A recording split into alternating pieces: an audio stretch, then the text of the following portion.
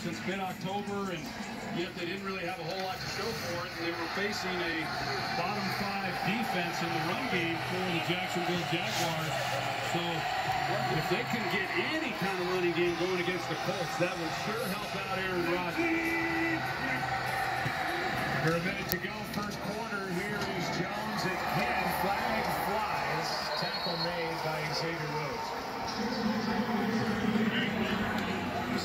indication is it's against Green Bay. Well, they threw it right at the feet of Bakhtiari. Offense number 69. 10-yard penalty. Replay, first down.